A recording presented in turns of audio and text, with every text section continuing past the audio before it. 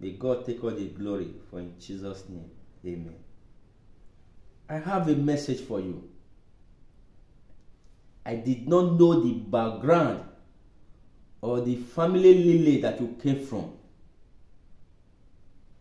God said this reason why things is not working well for you. Someone have stole your treasure that's supposed to make you a great man or woman. And I don't know who swapped that treasure to the other side because of greediness. Because they feel if they allow you to be in charge, you will not help them.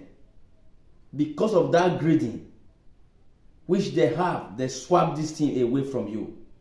You became nobody. Nobody want to listen to you.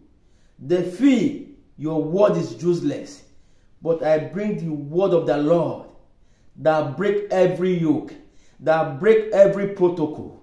I don't know that man or woman who have gathered for your sake to collect what belongs to you, to take that treasure away to you. But right now, I decree upon the rock of the Almighty God to that thing right now be restored back to your life. When you join me, according to Genesis 27 37,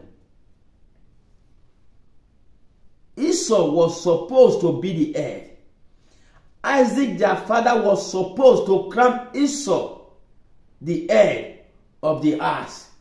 But because of the greediness from their mother, their mother persuaded Jacob because he heard the conversation. Ah, I don't know the evil one that have been monitoring your, your joy, your treasure, that are placing their ear in the world. And immediately, before Esau came from the forest, ah, another man, which is the younger one, went to his father with the food and said, Father, bless me. And the father blessed him because he was old. And today, and when Jacob, when Jacob took that blessing away, Esau came and said, Lord, bless me. And the father said, My son, it's too late. Your brother have come to collect your blessing. What make me to man is the Genesis 27, 37. And Isaac answered and said unto Esau, Behold, I have made him the Lord,